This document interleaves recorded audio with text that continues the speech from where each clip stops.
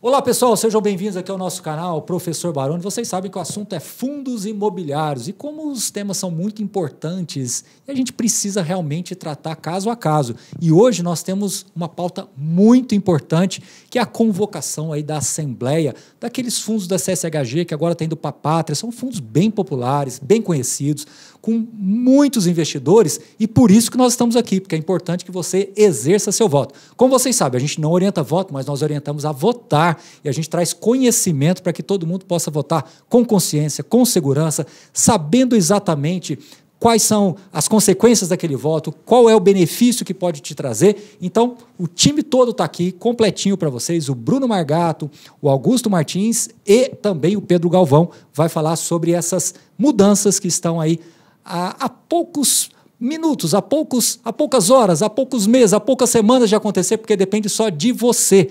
Poucos minutinhos, o voto vai durar rapidinho, você vai entrar lá, vai exercer seu voto, eles vão explicar como é que vota.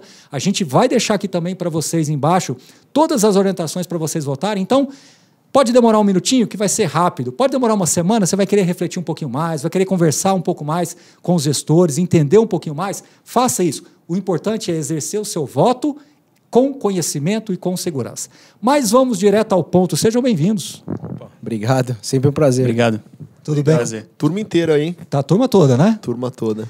Augusto, olha só que interessante, né? Há quantos anos a gente está em fundos imobiliários e estamos aqui hoje com dezenas de milhares de pessoas precisando votar. Antigamente as assembleias eram igual de condomínio, né? Tinha poucas pessoas e hoje, na verdade, você encheria vários estádios de futebol.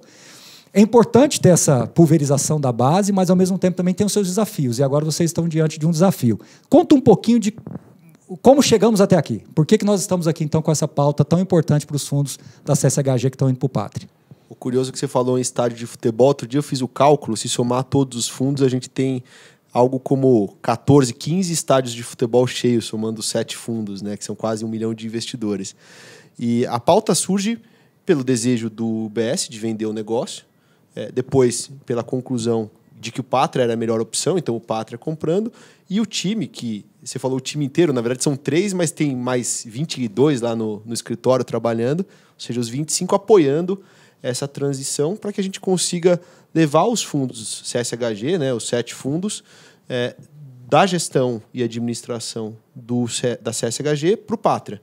É uma assembleia que tem como principal desafio atingir o quórum, no final das contas. A gente tem sentido um apoio é, bastante unânime dos investidores, por ser uma transação sem fricção, né? Ou seja, tem um player que, pelos seus motivos, decidiu sair de uma transação, de um segmento, um outro que tem muita tradição, né? O Pátria tem bastante tradição em investimentos alternativos, até inclusive no Brasil, muito mais tradição nisso do que o próprio CS ou o BS.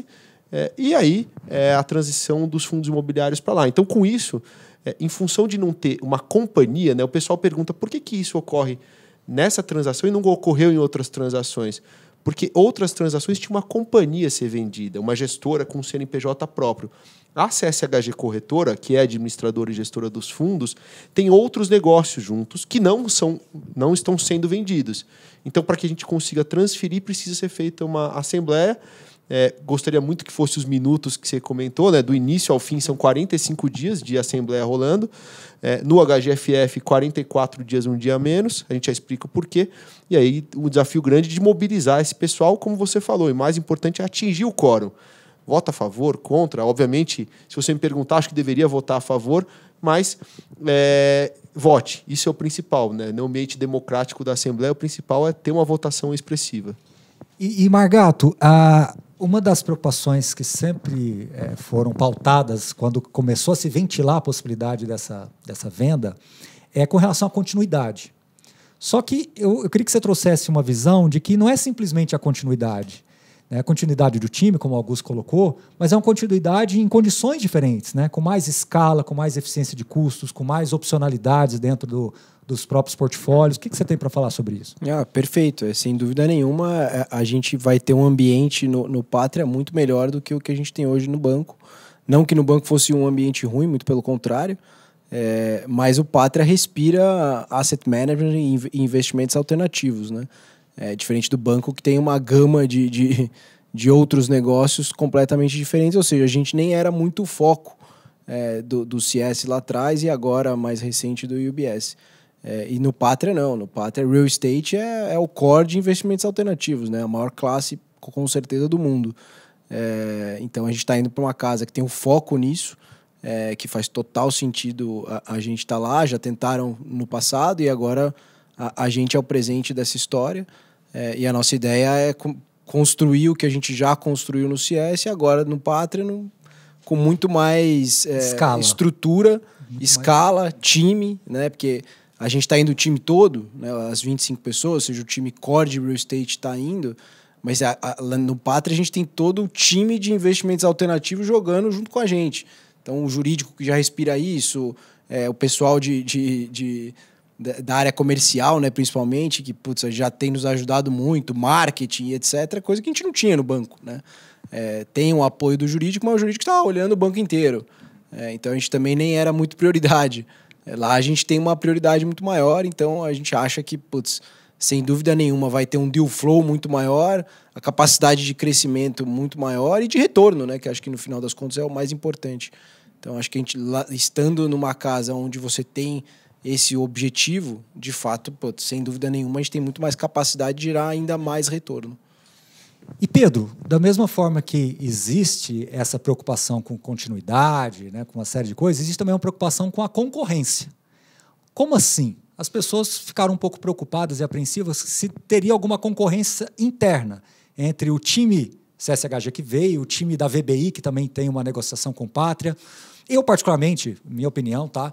Eu entendo que os times eles se somam né? Os negócios vão passar em todas as mesas e quando houver possibilidades se alcança ou não dentro de cada realidade de cada fundo. Mas eu queria ouvir um pouco de você, como é que vocês estão tratando isso internamente. Tá, legal. Acho que acho que esse ponto bate num aspecto bem importante da transação, que é, é o formato que nós do Credit Suisse vamos para lá, né? Então, é, dentre dentre essa mudança, é, o que a gente tem acordado com o Pátria é que nós vamos 20, as 25 pessoas e, num primeiro momento, é, por algum tempo, dois anos, é, a gente vai como um time separado, tocando os fundos que hoje já existem, tocando suas estratégias, assim como a gente faz hoje é, no Credit Suisse, mais um, um novo endereço. É, esse, é, esse é o conceito. Terceiro ano para frente, aí sim, né, com a VBI lá dentro e, e, as coisas acontecendo, você deve ter algum tipo de, de é, isso é, é alguma junção, enfim. Uma é... sinergia mesmo, né? Exato. Mas isso é um negócio que nós vamos pensar mais para frente. Acho que nesse momento a gente está muito focado em, é, em, em né, ao mesmo tempo que a gente está trabalhando nas assembleias, em tocar os fundos. Né, acho, que tem, acho que isso é importante. A gente é, gasta um tempo com essa transferência, mas também temos que manter o olho na bola, né, as coisas acontecendo. E barulho não é uma preocupação. Acho que a gente está, o plano está muito bem desenhado é, e a gente segue a vida. É, é, essa foi uma forma de fazer. A gente precisa conhecer o Pátria, né? Acho que tem, tem um pouco desse, desse papo, eles também precisam conhecer a gente. Então, essa transição é é, um, é, um, é um jeito bem interessante de fazer isso. Embora eu não seja especialista em ações, mas assim a leitura que eu tenho é que em toda fusão, toda incorporação, toda, enfim, toda vez quando você tem um, um M&A, né, quando você tem alguma coisa nesse sentido, você vai ter sinergias e às vezes algumas coisas que você esperava que fosse acontecer não acontecem. Acho que isso vai, vai desenvolvendo com o tempo, né? Mas só de levar o time todo, você já faz com que os cotistas que confiaram em vocês no passado já fiquem resguardados de que aquele time ele tará, estará lá presente atuando, seja em alguma questão que envolva sinergias, ou seja dentro das teses individuais. E por falar em teses individuais, Augusto, eu sei que perguntar qual filho que gosta mais é difícil, né? não tem jeito. Mas eu, eu queria aqui tentar fazer uma, uma, uma analogia para separar um pouquinho em cada um, para que vocês pudessem falar de cada um. E eu sei que o HGRE é um fundo que é muito importante assim para você. Você trabalha, não que os outros não sejam, obviamente. Mas eu queria que você falasse do HGRE, porque na minha visão o HGRE ele tem um desafio a mais. Ele é um fundo de uma base mais antiga. Ah, mas o HGLG também é, Baroni. Mas o HGLG ele foi quase que reinventado dez vezes pelo caminho, que é o setor de logística que andou muito, tracionou muito. O HGRU é um filho novo. Né? É, então, a base é mais nova. Mas o HGR tem, eu acho que, desafios a mais de base. Eu queria que... Qual que é a sua leitura sobre isso? Qual que é a estratégia para mostrar para a turma do HGR que é importante exercer o voto aí? Só um ponto, quando o Pedro comentou aqui sobre a gente se conhecer, né, eu, faço analogia é, com casamento, né? É, você foi, namorou, saiu para jantar, foi ao cinema, viajou junto, aí casou, vai morar na mesma casa. Aí você vai descobrir que lado que dorme da cama, se acorda com, com o despertador analógico ou do celular, é, coloca o snooze ou não, né, todo dia. Então é isso que bafo, vai, né? É isso que vai ocorrer, né? Acorda no, no meio da noite para ir ao banheiro ou não, acende a luz, né? Então são essas coisas que a gente vai descobrir aí ao longo do tempo. É, e aí no HGRE é interessante que é o nosso fundo mais antigo, né? Dentre os sete fundos é um fundo de 2008, ou seja, a gente brinca de uma, de uma indústria crescente, né? Que muita gente aí pegar os 2 milhões e meio de investidores é, vieram principalmente de três anos para cá. Estamos é, falando de um fundo de 16 anos, né? Ou seja, onde, se você lembrar a 472, né, que mudou muito é, a dinâmica de fundo imobiliário, era de 2009, ou seja, é um fundo antes da 472. É, e por isso tem é, características de portfólio é, que foram. De passivo de cotistas Exato, também. Que foram sendo alteradas. Que tem um, um adendo aí, um adicional, é, um complicômetro, que foi a pandemia. Por quê? Porque ela gerou aversão ao risco de escritório, gerou desafios de vacância. Né? A indústria de escritórios em São Paulo, não do HGRE só, é, chegou em 2019, que foi o pico mais baixo de vacância recente, em 13%. Esse número bateu em quase 23%. Ou seja, isso foi feito da vacância é, em função da pandemia. E todos os portfólios sofreram em função disso, em, termos de em tempo de absorção, é, em preço de locação, impressão de, e, e poder de barganha do locatário. Agora, o que a gente tem feito com muita disciplina no HGRE é olhar para frente e falar, onde a gente quer chegar? Às vezes demora um pouco mais, às vezes demora um pouco menos, é, e a gente vai, foi implementando, que é o quê? Vender os ativos que são menos relevantes em termos de representatividade, ou seja, de capital e da nossa participação, é, vendendo as lajes individuais. A gente vendeu tudo que não era escritório. A última transação foi o Dom Pedro em Atibaia. E com isso a gente trouxe um portfólio que tinha 27% de classificação escritórios entre A e AAA lá em 2017 para algo a mais, mais do que 85% é substancial a, a diferença. Agora, quando o investidor olha é, o relatório, ele vê lá ainda o Senesp, ele vê ainda o transatlântico. É inexpressivo dentro do, da carteira, mas ele ainda aparece lá. Então, eu acho que o nosso desafio é mostrar é, ao longo do tempo que essa qualidade de portfólio realmente aumentou, e acho que de 19 para cá aumentou substancialmente, é, principalmente com a entrada do Chucre, do Totos, é, do Martiniano, a reocupação né, que ficou vago do Paulista Star, hoje com a Bfly, é, e a melhora do portfólio concentrada em escritórios. Por isso que a gente vendeu, por exemplo, o ativo do Alegria, que era um call center, é uma transação, uma região que não vai ter vocação de escritórios tão cedo, e por uma característica da região e do tamanho do terreno, que era um ponto importante da tese de investimento, a gente acabou e vai monetizar ao longo do tempo numa incorporação residencial de baixa renda que, que também reforça aquela máxima de que o imóvel, quando tem uma localização e uma característica decente, ele vai ter uma reserva de valor, talvez não pelo escritório, mas pelo terreno nesse caso. Então, diria que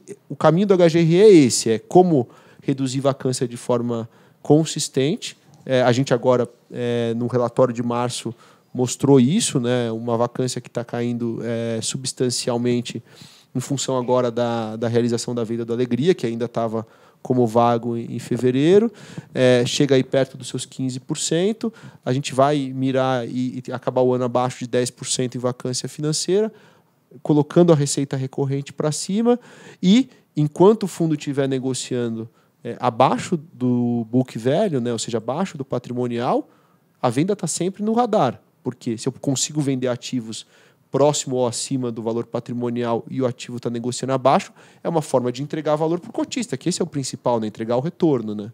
Que inclusive foi uma estratégia do HG que a gente vai falar daqui a pouco, quando ele estava abaixo de book também. Mas, é, mas, Augusto, eu quero voltar ainda com você numa questão. É, deu uma mensagem para os cotistas do HGRE, porque a impressão que eu tenho é que o setor de lajes, ele ele está com. Tá, ele, como ele, ele, ele sofreu muito e os shoppings recuperaram, mas Lages ainda está lentamente buscando essa, essa recuperação, talvez a base se mobilize menos.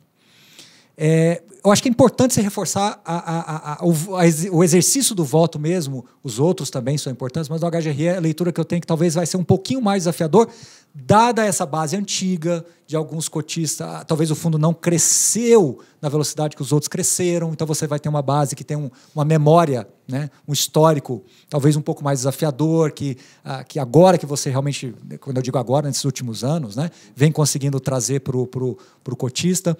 É, enfim, explique para o pessoal a importância dessa continuidade. Eu acho que para o HGRE é meio que um, um double check aí para você conseguir alcançar esse, esse plano que você está traçando para o fundo, que é de longo prazo. Né? Exato, e, e, o ponto de. É, quando a gente fala em longo prazo, a gente já tem 16 anos de história, né? Só na HGRE. E quando a gente fala em crescimento, inclusive, foi um, um não crescimento é, é, desenhado por nós. Por quê? Na nossa visão, crescer o portfólio no pós-pandemia era um grande equívoco. Então, as, as decisões de portfólio no pós-pandemia, não alavancar o portfólio, não comprar ativos que, na nossa visão, teriam preços menores à frente, como aconteceu na Chucre na Chucre eram coisas importantes para a manutenção de um portfólio é, resiliente que, de fato, entregou. Quando a gente olha o desconto do HGRE frente ao patrimonial, ele foi menor ao longo do tempo do que os peers. Por quê? Porque a gente não gerou um risco adicional de portfólio como alavancagem, por exemplo. E aí, na continuidade, é interessante como os portfólios se ajudam entre si.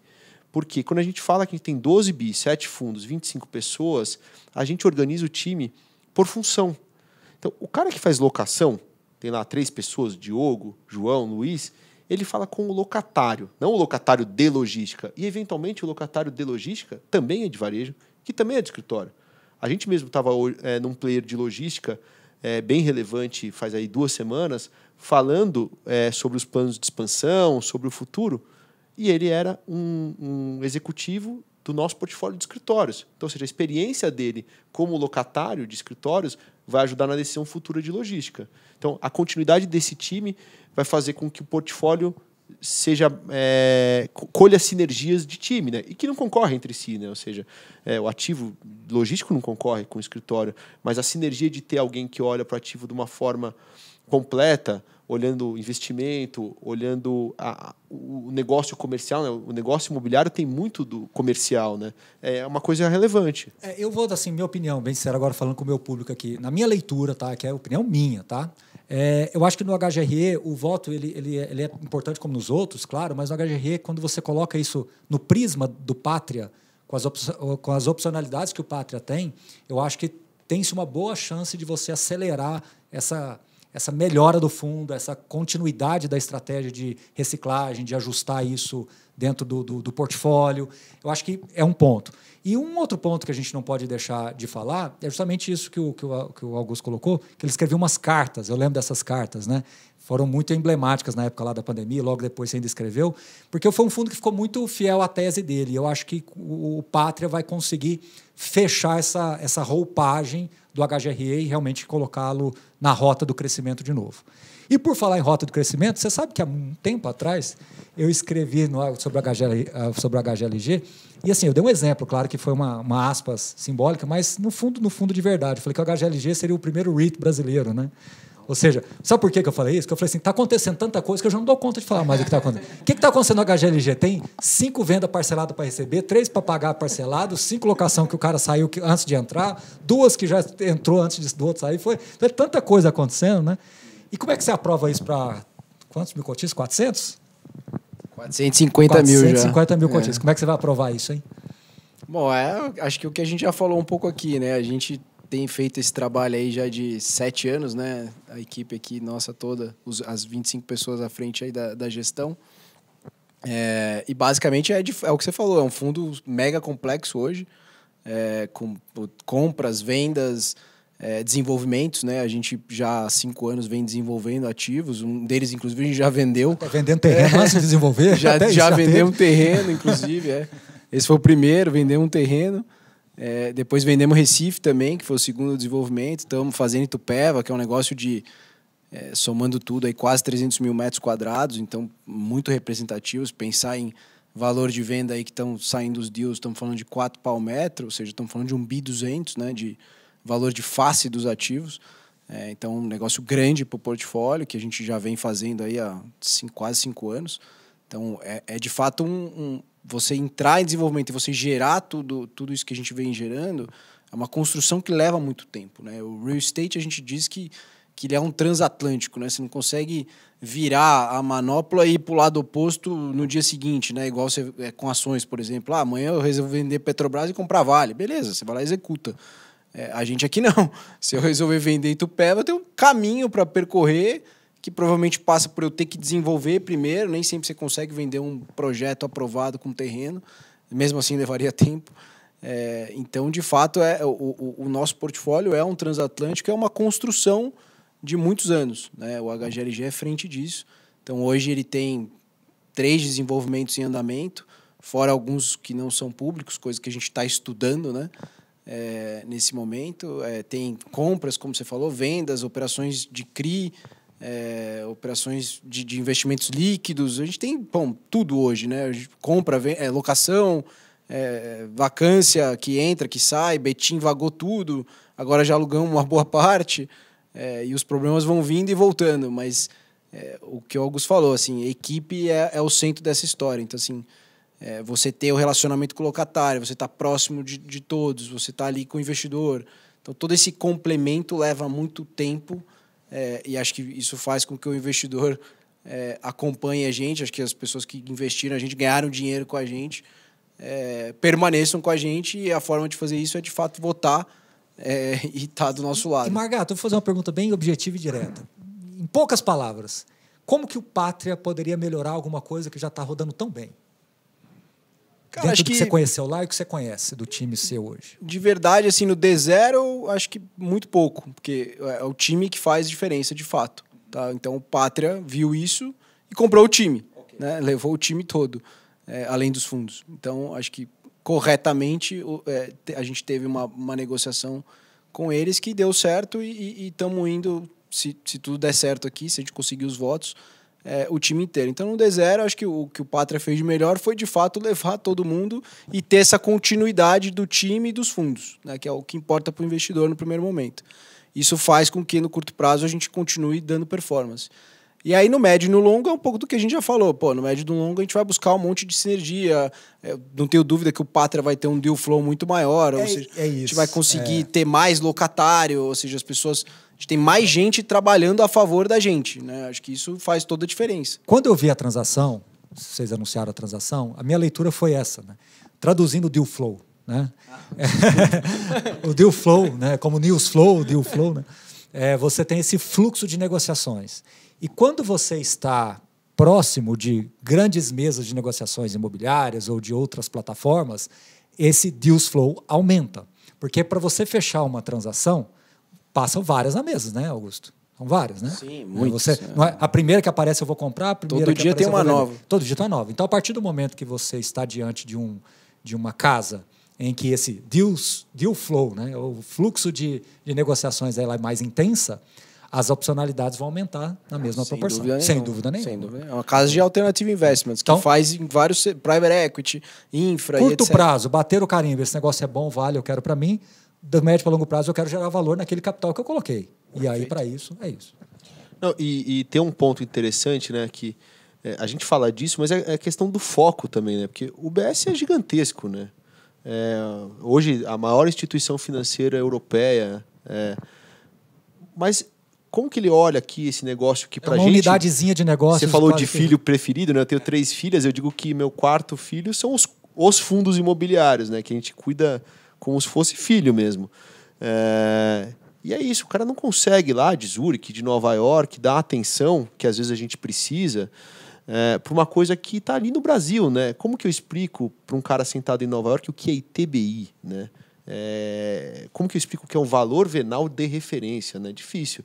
Agora, tem um negócio interessante dentro do que o Pátria vai agregar para os fundos, é que a gente sempre pensou que a penetração dos fundos imobiliários na base de investidores, ela passava por algumas etapas. Então, começou, no nosso caso, com o público de alta renda, pessoa física, o private banking, depois o público de varejo, né, pessoa física ainda, que fez com que o é, a HGLG fosse para 450 mil investidores. A gente passou por uma onda de penetrar os fundos no investidor institucional brasileiro, né, fundos de pensão, family office, é, gestoras, e vai entrar na penetração do investidor estrangeiro institucional, estrangeiro, né, que já começou é, com a inclusão do HGLG, que foi o primeiro fundo nosso é, no FTSI, que é um índice global. Então hoje a gente tem alguns investidores estrangeiros, mas replicando esse índice, então passivos. Em algum momento a gente vai ter investidor estrangeiro ativo. E a base de, de investidores do Pátria de investidor estrangeiro é muito relevante. Então, eles vão ajudar a gente, pelo foco, a abrir essas portas e mostrar lá para o fundo de pensão do Estado é, da Califórnia de que é interessante colocar dinheiro em fundo imobiliário no Brasil. E o caminho natural é que comece pelo HGLG, porque é o fundo maior, que precisa de escala e precisa de liquidez. E aí, isso é bom não só para os nossos fundos, é bom para a indústria, porque uma vez que ele venha e tenha é, uma experiência positiva, ele vai olhar a indústria do, de, com bons olhos e replicar isso em outros fundos. É, como você colocou, né? Para o UBS, aqui é, é uma, apenas uni, uma pequena unidade de negócio. Para o Pátria é core. Ou seja, é, é, é o negócio dela. Mas vamos falar, já que está falando de filho, e o HGRU, hein? O filhinho que começou lá pequenininho, um imóvelzinho lá no IBMEC e virou esse colosso e tudo. Então, assim, é, muita gente preocupada com e aí a oferta vai ou não vai? Tá, é claro que, na minha opinião, eu acho que você vai co co é, confirmar, precisa realmente efetivar tudo isso. Você não vai fazer uma oferta nessa transição que seria muito complexa, né? É. O que, que você tem para dizer para a gente sobre isso aí? Eu acho que é isso. A oferta, de fato, a gente só vai fazer no momento posterior, ou seja, primeiro precisa aprovar. É, então, é, focar aqui nossos esforços em, em, em, fazer essa Assembleia sair, de fato a gente conseguir os votos. É, e aí, obviamente, isso, isso sendo feito, a gente segue com a Assembleia, segue com a oferta, desculpa.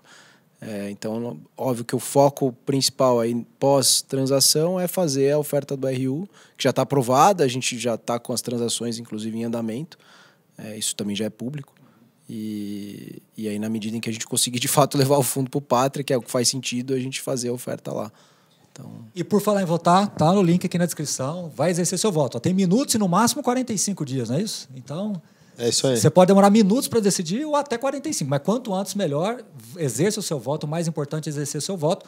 De novo, com conhecimento e com segurança, mas vote. Vamos falar de ativos líquidos, fundos de papéis, FOFs e por aí vai. Vai essa turma toda para lá também, né? Eu acho que também ativos líquidos, não sei, a impressão sua. É, mas assim, a leitura que eu tenho, que eu acho que de ativos líquidos, a sinergia, eu acho que ela é quase que no, enquanto no HGLG demoraria um pouquinho, a impressão que eu tenho que no ativo líquido é, é mais rápido, não é? O que, que você acha, Pedro?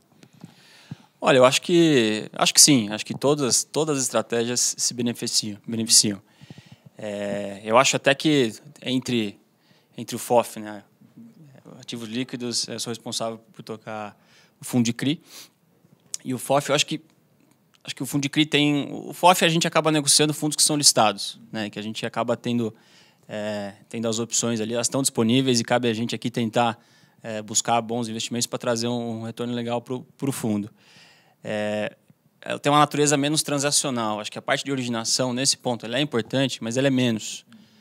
No CRI, ela é muito importante. É, eu acho que é assim como nos outros, nos outros no portfólio de tijolos, é, o CRI acho que é, é, uma parte muito importante essa questão da originação. Eu falo que não adianta você ser um gênio do crédito né, ser capaz de prever o futuro, é, mas dentro de um espectro de 100 operações, você está olhando sempre as 10 piores, porque você não consegue chegar nas boas operações. Então você vai comprar. Se você for o melhor analista de crédito que existe, você vai comprar a 90 melhor operação dentro de 100 operações. Então o que a gente faz muito e ajuda muito é, tá nesse ecossistema de outros fundos, fundos grandes que atuam em diversos setores há muito tempo, é, a gente busca estar tá sempre olhando as 10 primeiras. Então, se em algum momento a gente errar na análise de crédito, isso eventualmente acontece, a gente está entre as 10 melhores operações de mercado. É, eu acho que esse é um ponto muito importante nessa transição que vai ajudar bastante, essa capacidade de originação. É, acho que a gente mencionou aqui, é, o Pátria enfim, tem seus 35 anos de história no setor de, de, investimentos alternativos e atua de forma relevante em outros países também. Tem um, tem uma presença interessante em outros países da América Latina. A gente vai, vai conseguir trocar bastante, acho que vai ter muita troca de sabedoria dentro do, do, do setor imobiliário. Acho que isso, acho que isso ajuda muito. A gente está muito animado com esse.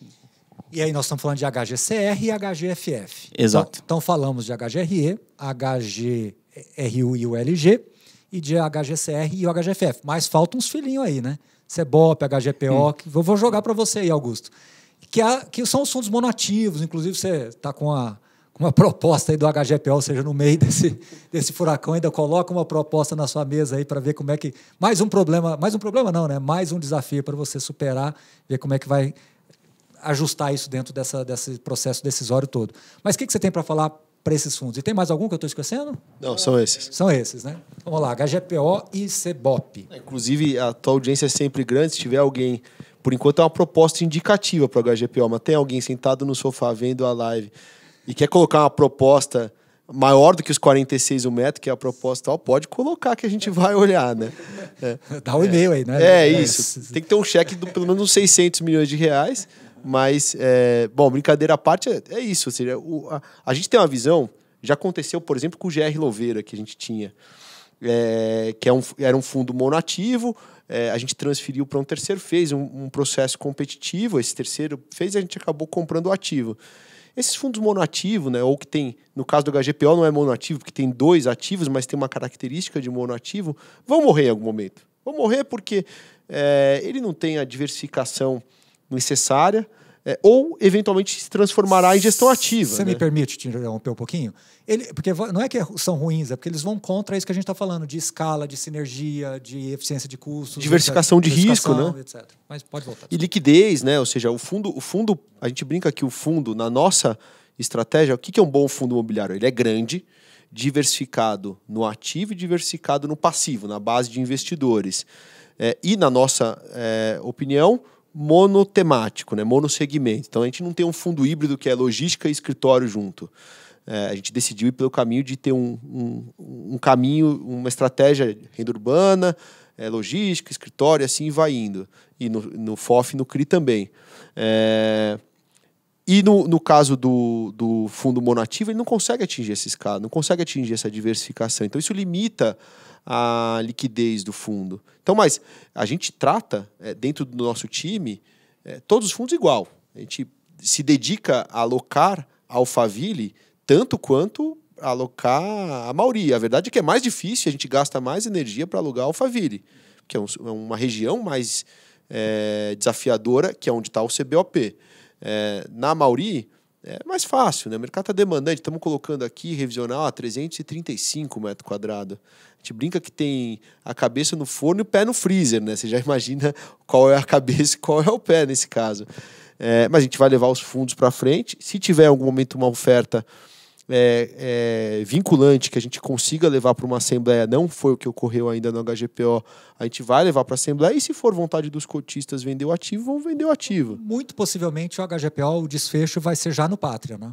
Ah, sim, com certeza. A ideia é, como ainda tem algumas etapas a serem cumpridas, inclusive de formalização dessa proposta para que a gente possa deliberar em assembleia, a gente vai tocar a vida é, com a transferência do fundo, assim como os outros seis, é, e é, se concretizando a oferta é, vinculante para deliberar a assembleia, a gente faz uma assembleia específica para fazer a venda ou não, e se for vender a vontade dos cotistas vender, a gente vende. Um mais um mais um é igual a três. Mas no caso de um CSHG, um Pátria, um VBI, pode ser que seja quatro, cinco. Né? Aí, aí você tem muita, muita gente boa nessas frentes todas. Né? Então, foi como o Pedro colocou. Né? Talvez daqui dois anos, essas sinergias vão se aflorar de uma maneira que talvez nenhum de nós quatro aqui conseguimos imaginar, certo? Mas vamos ao ponto. Agora chegou a grande hora. O link está aqui, mas agora chegou a hora do Augusto explicar como é que vota, Augusto, porque temos que votar aí para exercer o nosso voto. E como é que vota? São, quais são os tipos de votação? Como é que, como é que funciona isso aí? São três. A gente é, brinca que assim ninguém acorda com vontade de votar numa assembleia, né? Tem que primeiro saber que ela existe, depois ele tem que se convencer de que o voto é importante, qual vai ser o voto que ele vai fazer, e tem que ser fácil, né? É, para que a pessoa não gaste muito tempo. Então, para que isso fosse possível, a gente colocou três sistemas de voto. É, um é o sistema analógico, que é, a maior parte dos investidores provavelmente não utilizará, que é formulário de papel. Tem gente que gosta, ainda existe formulário de papel a ser assinado com voto. Depois tem um sistema da B3. Então ele acessa a área do investidor B3. A B3 desenvolveu um sistema de votos. Você faz o seu login. Se não tem o login, você cria o login. É super, super simples e tem um, um, um segmento lá, uma parte dizendo assembleias. Seleciona o fundo. Vão ter várias assembleias, provavelmente algumas assembleias ordinárias junto. Seleciona a AGE, que é a, é a AGE de transferência, e faz o voto. E o terceiro formato é via um sistema que chama Cuore é, Para esse sistema, você tem que identificar o e-mail da Cuore na tua caixa de e-mail. Ele vai chegar como contact.cuore.com.br e aí, com o clique do e-mail, você vai direto para o sistema de votação. E se, já antecipando, eventualmente alguém votou em um sistema, votou no outro, também não tem nenhum problema. A gente já tem um formato para identificar, evitar duplicidade e considerar como voto válido o mais recente sempre. E claro, se a pessoa for cotista de três fundos, tem que votar três vezes. Tem que votar três vezes. No sistema da B3, inclusive, as assembleias vão estar lado a lado. Você clica na primeira, na segunda, na terceira ou até na sete, eventualmente. É, no caso do, do Quori, você tem que identificar os e-mails separadamente. Ou seja, cada assembleia vai ter um e-mail e você tem que clicar em cada e-mail para iniciar o voto. Quanto tempo você acha que demora para votar? Cara, é muito fácil. A gente fez isso agora para as assembleias ordinárias que já estão ocorrendo, né, de aprovação de demonstração financeira. Eu votei em quatro assembleias ao mesmo tempo, é, dos nossos fundos. Eu demorei entre o login e a, e a conclusão menos de um minuto. Em quatro fundos. Em quatro fundos. Muito bem. E a pauta é única: aprovar a mudança para o Pátria. Não vou ter desdobramentos ali. São, são, é a mesma pauta para os sete fundos: é, aprovar a mudança da gestão para o Pátria, da administração para uma administradora, né? o Pátria não tem uma instituição financeira que foi escolhida genial. É, tem também adequações do regulamento e adaptação a 175, que é a nova resolução, isso para os sete fundos. Para o HGCR, tem aprovar uma situação de conflito de interesses em crise que já tem na carteira, então a gente precisava, na prática, reaprovar essa situação. E para o HGFF, aprovar a situação de conflitos, porque ele investe em fundos da casa, né? então o HG FF investe no LG, por exemplo, no HGRU, é, e essa situação precisa ser aprovada, né? ela está aprovada ainda como CSHG, precisa ser reaprovada como pátria, e tem só para o HGFF uma terceira pauta, que é permitir que ele vote nas outras assembleias. Por isso que a HGFF acaba um dia antes, porque a gente quer aproveitar que o cotista já fez o voto no HGFF e permitir que o fundo vote, por exemplo, o HGFF votando na Assembleia do HGRG, votando na Assembleia do HGRU. Então, para os sete fundos, uma pauta só, para o HGCR, duas pautas, para o HGFF, três pautas. Muito bem. Bruno Margato, outra preocupação do pessoal, custo. Vai aumentar o custo do fundo de alguma forma? Ou seja, o cotista vai. Os reais por cota lá no final vai mudar alguma coisa? Não, zero. Não zero, tem mudança nenhuma. Não, nem tem porquê, né, ter mudanças. Para ter, teria que ser pauta de assembleia, inclusive. Então, não é pauta, a gente não, não tem isso na pauta, vocês verão que não existe nenhuma mudança. É, então... Vocês sabem, Pedro, que os relatórios do CSHG são tidos como referência no mercado. Né? Muita gente gosta da maneira como vocês colocam, eu particularmente gosto também. E eu, eu, acho que é um, é, é um bom template, é um, um bom benchmark para o mercado. Aí você tem a comunicação visual lá do Pátria, você tem o de mãe. Como é que vocês vão trabalhar isso? Como é que vocês. O cotista que está apreensivo, será que eu vou perder essa comunicação? Será que os relatórios vão ficar mais no estilo da VBI? Vai ficar uhum. mais no estilo do Pátria? Vai uhum. manter? Como é que, que vocês já falaram sobre isso? Olha, é, a gente não, não falou, mas acho que adequação visual vai ter mais para frente. Mas acho que o, o cotista pode ficar tranquilo que o conteúdo vai ser. Visual sim, tá informacional mantido. não. Exato. O conteúdo está mantido. Acho que a ideia principal, né? Os tickers serão mantidos, não, vão, não serão alterados os tickers. É, tem uma coisa, a gente altera os nomes dos fundos, é a razão social, né? Porque tem CSHG no nome, a gente não pode usar mais CSHG, altera para pátria.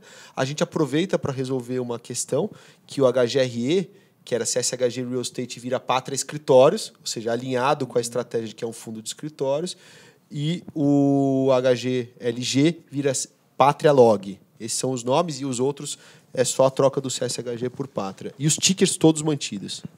Muito bem. Por que a Genial como administradora? A gente fez um trabalho é, longo, né? Entre lembrar que a transação foi, aprova foi assinada em dezembro, foi aprovada no CAD em 4 de março, e só então a gente de fato pôde trabalhar lado a lado é, CS, UBS e Pátria. E a gente fez uma RFP, ou seja, é, pediu propostas para administradores, a gente analisou sete é, grandes, com tradição, é, olhou é, preço, mas principalmente modelo de negócios adesão ao nosso modelo de negócios é, é, e relevância. Então a gente fez aí um, uma larga avaliação, chegou na Genial com uma grata surpresa assim de um player super relevante, é, até às vezes menos conhecido de alguns fundos né, pulverizados, porque dos maiores fundos é, acho que ele não é administrador de nenhum deles, é, é administrador do Risa, é, Risa Terrax, é, e tem é, uma qualidade, principalmente, muito aderente ao que a gente gostaria de ter. É, em termos de, por exemplo, prazos de divulgação das informações para que a gente continue a divulgar os relatórios é, dentro do prazo que a gente quer. É, a gente não quer atrasar relatório, a gente sabe quanto isso é ruim para o investidor. A gente queria um prazo é, rápido para assinar as transações. Né? Uma vez que a gente fez as transações, tem que assinar, às vezes, um compromisso de compra e venda. A gente queria que isso fosse rápido, porque tem essa interlocução gestor-administrador. E a gente conseguiu concluir que a Genial era uma, uma ótima solução para fazer isso é, em conjunto com a gente. Inclusive, vocês eram administradores, né? então tinha essa, essa celeridade, né? e vocês conseguiram articular que isso também fosse mantido junto com a Genial. Exato, exato. Pessoal, então é isso. Olha, veja como é simples, a votação é rápida, como eu falei, tá aqui no, na descrição do vídeo, mas você já recebeu o seu aí, então já pense em exercer seu voto. Sabe o que é, importante? É vocês votarem com consciência. Mas se ainda tiver alguma dúvida, se ainda restar ainda alguma, algum questionamento, como é que faz para entrar em contato com vocês para tirar essa dúvida? Como é que vocês montaram aí uma força-tarefa para os um milhão de investidores tirarem potencialmente dúvidas? Primeiro a gente criou uma landing page, né, ou seja, uma página exclusiva da Assembleia, é www.assembleias hg, tudo junto.com.br. Lá tem todas as informações, tem um FAQ, né? Perguntas frequentes, tem vídeo. Você cansou, quer ver a gente de novo no vídeo? Tem lá nós três de novo no vídeo. É, tem todas as informações legais, né? Convocação, proposta da administradora, uma apresentação com esses dados e o link direto para o sistema de votação. Então, esse é um formato. O outro é o nosso e-mail, que é o ri.imobiliário.com arroba cshg.com.br, então é o e-mail de RI que a gente usa para tudo. É, a gente vai solucionar todas as questões por lá, de forma tempestiva, é, mas a gente acha que o material está bem completo. É, obviamente, é, esse espaço que você cedeu aqui para a gente também ajuda muito, né? porque o material às vezes é muito frio, então falar é, é bom para trazer as informações e a gente vai aí correr esses tempos todos, aí gastar muita sola de sapato, a gente estava brincando antes, né? não só para visitar ativo é, real, mas também para visitar investidor e mostrar como que está essa assembleia. Para você ver como a pessoa, quando ela passa dos 40, ela fala gastar sola de sapato. Se fosse abaixo, ela fala gastar a bateria do patinete, andando, né? Você tá vendo, né, Marga? O cara, cara se entrega a, a, a, idade assim por conta própria, não falei nada. www. assembleiashg.com.br. Beleza, eu vou pedir para o pessoal da Sono colocar aqui para vocês também uma landing page para que você possa entender tudo e mais um pouco aí sobre a votação. Então, pessoal, é isso. Daqui a pouco os relatórios vão estar todos adaptados a esse modelo do Pátria, mas com as informações mantidas. Exerça o seu voto. Mais uma vez, eu digo aqui para vocês que está a descrição aqui do vídeo, tem o site que o Augusto falou. E é isso aí, pessoal. Agora a gente se encontra aí mais para frente um pouquinho já para falar sobre os projetos daqui para frente. Então, eles prometeram, né? Vão voltar, voltar para falar depois dessa aprovação de como é que vocês vão seguir com o plano. Combinado? Combinadíssimo. Vamos voltar aqui para falar de RU, né? Ofertas Opa, e etc. Sim. É isso aí. Estaremos aqui. 100% compromisso. E contem comigo. Então é isso aí, Também. pessoal. Então vamos é, superar essa, essa assembleia. Volto a repetir, a gente não orienta voto, mas estamos aqui em nome da indústria. Eu acho que é um milhão de investidores impactados de alguma forma. E o nosso papel aqui é justamente levar esse conhecimento, levar esses esclarecimentos para que vocês possam voltar com consciência. Claro que é um ambiente mais descontraído, claro que é uma, uma maneira mais leve de passar para vocês, como o Augusto falou, né? Ninguém acorda com a, acorda com a missão de né? hoje eu vou votar, todo mundo ali. Então, mas eu acho que de alguma forma vocês, como cotistas, têm essa. Essa, essa segurança de fazer e exercer o voto com consciência. Pessoal, é isso. No mais, deixe o seu comentário aqui. Se você já votou, coloca aqui também que você já votou. incentiva o pessoal para falar que é fácil. Acho que é o mais importante. A informação está aqui, mas incentiva o pessoal para falar que é fácil. E quem não recebeu esse link, quem não, não sabe como votar, vai na landing page, faz o contato para você receber esse link de alguma maneira, porque afinal de contas, um milhão de investidores. Pode ser que em algum momento aí alguém fique sem esse link e é importante que todos votem. Tá bom? Valeu, pessoal. Obrigado, viu, gente? Um abraço. Obrigado. Obrigado.